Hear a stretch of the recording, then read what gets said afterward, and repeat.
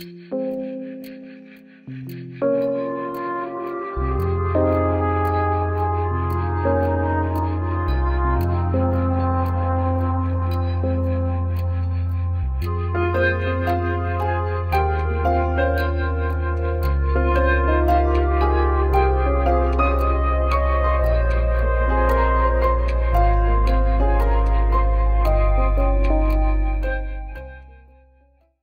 Basic science researchers at the Bay Area Breast Cancer and the Environment Research Center study normal breast development and how it responds to environmental exposures. The information learned from basic science research is later applied to research aimed at developing new ways of preventing breast cancer as well as new therapies for treating patients.